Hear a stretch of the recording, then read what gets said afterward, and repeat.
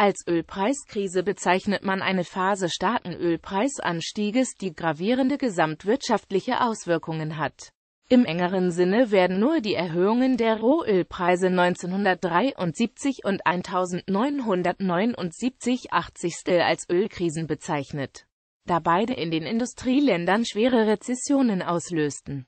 Bereits die Preissteigerungen und Nachfragesprünge zu Anfang der modernen Ölförderung bis 1900 waren mit den neuzeitlichen Ölkrisen vergleichbar. Anfang der 1950er Jahre führten Krisen wie der Putsch im Iran und die Suez-Krise zwar nicht zu einem Ölpreisschock in Westdeutschland, das damals noch 35 Prozent seines Ölbedarfs aus heimischen Quellen deckte, aber zu einer intensiven Erdölprospektion in der DDR. Es wird die Möglichkeit einer globalen Ölkrise diskutiert, die durch die steigende Nachfrage nach Öl und ein absolut und nicht abzuwenden sinkendes Angebot aufgrund eines möglicherweise bevorstehenden globalen Ölfördermaximums verursacht werden könnte. Die historischen Ölkrisen der 1970er Jahre entstanden jedoch nicht, weil die globalen Ölreserven erschöpft gewesen wären, sondern hatten politische oder ökonomische Hintergründe. Wie alle Krisen werden auch Ölpreiskrisen stark durch mediale, wissenschaftliche und kulturelle Konstruktionen beeinflusst. Die erste Ölkrise 1973 Beschreibung Die erste und folgenreichste Ölkrise wurde im Herbst 1973 anlässlich des Yom Kippur-Krieges ausgelöst. Die Organisation erdölexportierender Länder drosselte bewusst die Fördermengen um etwa 5 Prozent um die westlichen Länder bezüglich ihrer Unterstützung Israels unter Druck zu setzen. Am 17. Oktober 1973 stieg der Ölpreis von rund 3 US-Dollar auf über 5 Dollar. Dies entspricht einem Anstieg um etwa 70 Prozent. Im Verlauf des nächsten Jahres stieg der Ölpreis weltweit auf über 12 US-Dollar. Dieses Ereignis ging auch unter dem Namen Ölembargo in die Geschichte ein. Die Drosselung der Fördermengen war Kalkül und politisches Druckmittel der OPEC-Staaten, die mit der Politik einiger erdölimportierender Staaten betreffend den Yom Kippur-Krieg nicht einverstanden waren. Am Embargo nahmen Algerien, Irak, Katar, Kuwait, Libyen, Saudi-Arabien und die Vereinigten Arabischen Emirate teil. Länderspezifische Auswirkungen Die Ölkrise von 1973 demonstrierte die Abhängigkeit der Industriestaaten von fossiler Energie insbesondere von fossilen Treibstoffen. In der Bundesrepublik Deutschland wurde als direkte Reaktion auf die Krise ein Energiesicherungsgesetz erlassen, auf dessen Grundlage an vier autofreien Sonntagen, beginnend mit dem 25. November 1973, ein allgemeines Fahrverbot verhängt sowie für sechs Monate generelle Geschwindigkeitsbegrenzungen eingeführt wurden diese Maßnahmen hatten nicht nur das Einsparen von Öl zum Ziel, sondern auch der Bevölkerung den Ernst der Situation nahezubringen. Der Spareffekt der autofreien Sonntage war tatsächlich nur gering.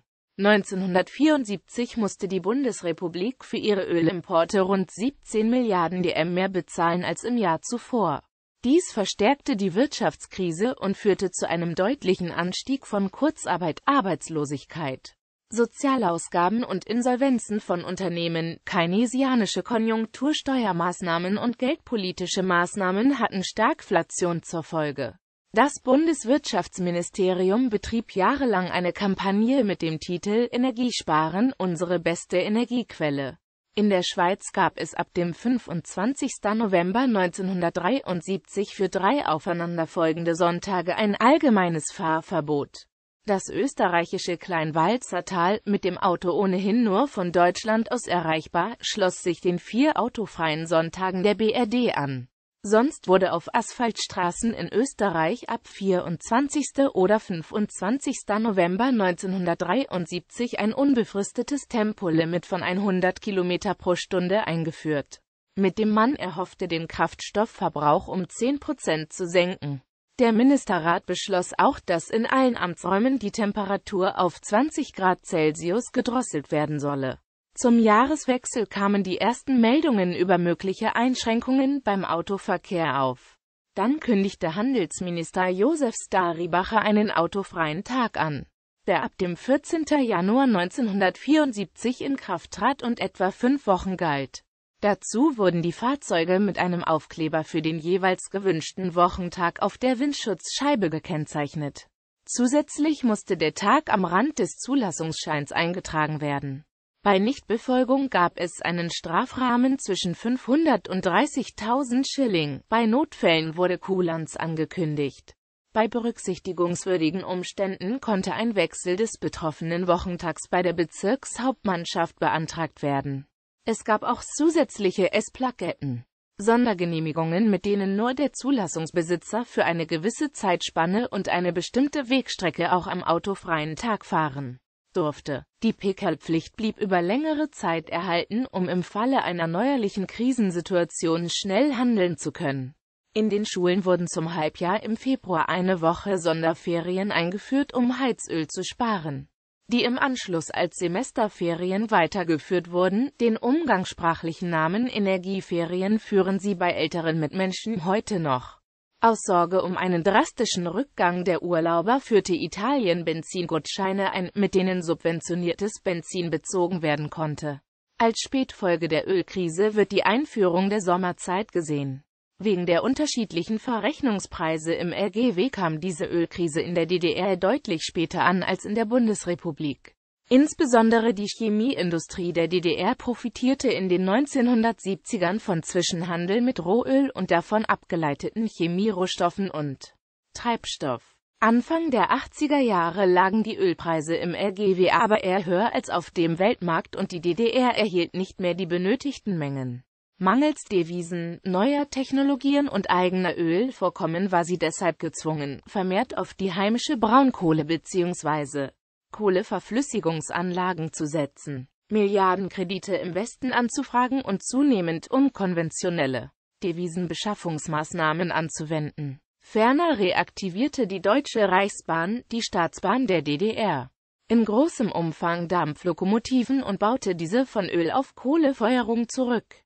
Technologische Veränderungen Die Offshore-Förderung von Öl und die nachträgliche Ausbeutung von älteren Vorkommen wurde aufgrund der gestiegenen Preise wieder profitabel. Im Offshore-Bereich zog dies eine rasante Entwicklung der damit verbundenen Technologien nach sich.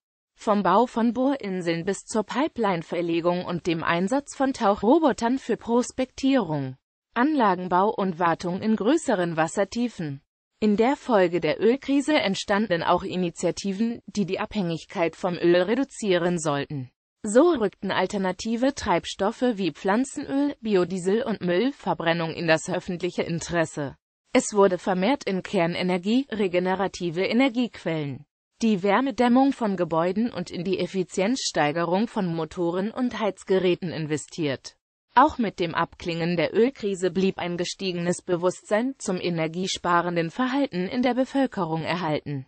Zudem wurde der Anteil des aus OPEC-Staaten bezogenen Öls durch Erschließung unterseeischer Ölfelder in der Nordsee sowie eine Diversifikation der Handelspartner gesenkt. Diese Entwicklung ist inzwischen zugunsten der OPEC rückläufig, da das Nordseeöl seinen Fördermaximumspunkt inzwischen erreicht hat und die Förderraten wieder kontinuierlich abnehmen. In einigen westlichen Staaten wurden in der Folge der Krise 1973 militärische Optionen erwogen.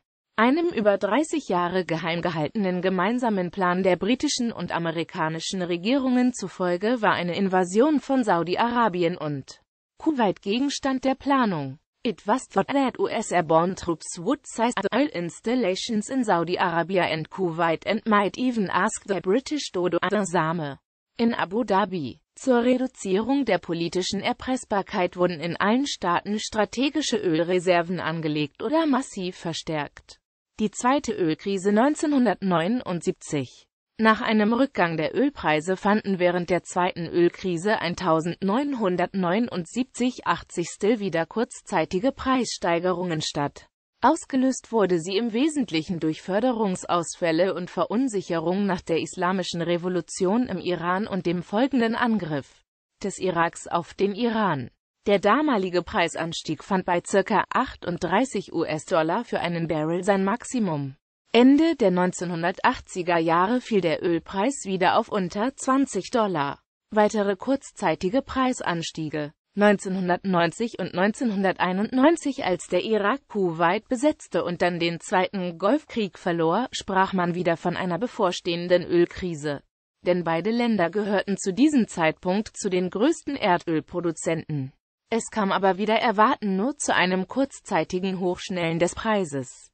Nach Überwindung der Asienkrise wuchs die Weltwirtschaft und damit auch der Ölbedarf schnell an. Die Witterungsbedingungen im strengen Winter 2001-02 führten ebenfalls zu einem erhöhten Ölbedarf. Die Auswirkungen waren geringer als in den 70er Jahren. Aufstockungen der Erdölfördermenge verhinderten eine ernsthafte Ölkrise. Und logistische Probleme wogen schwerer als eine tatsächliche Knappheit der Ölmenge. Kaufkraft korrigiert lag der Ölpreis 1900 höher als der von 2000. Ölpreisspitzen der jüngeren Vergangenheit. Nach einer längeren Phase niedrigerer Preise erreichte im Laufe des Jahres 2004 der Ölpreis zeitweilig einen Stand von 53 Dollar in einem Umfeld politischer, wirtschaftlicher und spekulativer Belastungen. 2005 stiegen die Rohölpreise aufgrund des verheerenden Hurrikans Katrina, der die Ölförderung im Golf von Mexiko und die Raffination in den USA beeinträchtigte, auf 70 US-Dollar. Seine bisherige Rekordmarke erreichte der Ölpreis für US-Leichtöl an der NYMEX am 11. Juli 2008, als er auf 147,27 US-Dollar anstieg. Brent wurde mit der Höchstmarke von 147,50 US-Dollar gehandelt. Zu Beginn des Jahres 2009 befanden sich die Ölpreise jedoch, aufgrund einer weltweiten Wirtschaftskrise, wieder bei einem Niveau von 30 bis 40 Dollar. Am 31. Januar 2011 stieg der Ölpreis für die Nordseesorte Brent erstmals seit dem 1. Oktober 2008 im Handelsverlauf über die 100-Dollar-Marke und am 1. März 2011 überwand auch der Preis für die US-Sorte WTI zum ersten Mal seit dem 1. Oktober 2008 die Grenze von 100 US-Dollar. Am 4. April 2011 stieg der Preis für das Nordseeöl Brent erstmals seit August 2008 auf über 120 US-Dollar. Ein Grund für den Anstieg sind die Proteste in der arabischen Welt 2010 bis 2011. Investoren fürchteten wegen des Bürgerkriegs in Libyen einen langfristigen Ausfall der Ölproduktion des Landes und ein Übergreifen der Unruhen auf Saudi-Arabien einem der weltgrößten Ölexporteure. Auffällig ist der große Abstand des Brent zu anderen Ölsorten. Für ein Barrel der US-Referenzsorte WTI musste am selben Tag rund 108 US-Dollar gezahlt werden. Auswirkungen und Wahrscheinlichkeit einer finalen Ölkrise Die Ölkrisen des 20. Jahrhunderts waren überwiegend durch politische und wirtschaftliche Ereignisse bedingt und vorübergehend.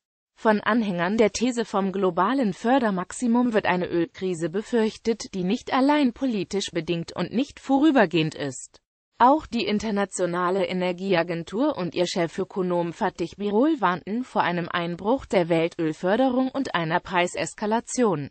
Ende Februar 2009 warnte die IEA vor einer erneuten Öl- und damit Wirtschaftskrise bis 2013 und Ölpreisen von bis zu 200 Dollar aufgrund von Ölmangel bei wieder anziehender Nachfrage. Bereits jetzt würden laut IEA die weltweiten Ölförderkapazitäten sinken und die Ölreserven würden sich bis 2013 voraussichtlich stark reduzieren. Das Problem bei einem Ölpreis von 40 Dollar sei, dass die Ölkonzerne ihre Investitionen zurückhalten, da sie sich nicht lohnen. Andere bestreiten dagegen die Relevanz der ursprünglich von Marion King Hubbard entwickelten Prognosemethode die Anwendbarkeit solcher Prognosen auf die globale Ölförderung oder gar die prinzipielle Endlichkeit der Erdölreserven. Als größere Herausforderung sehen sie den Investitionsstau, den es aufgrund des Zusammenbruchs der Preise in den 1990ern und Umbrüchen in der globalen Ölindustrie gegeben habe Private westliche Ölkonzerne mit hohem technischen Know-how kontrollierten um 1970 noch knapp 50 Prozent, 2008 nur noch 15 Prozent der weltweiten Ölproduktion. Aufgrund mangelnder Investitionssicherheit resultiere ein Konflikt zwischen Zugang zu Lagerstätten bzw. Technologie.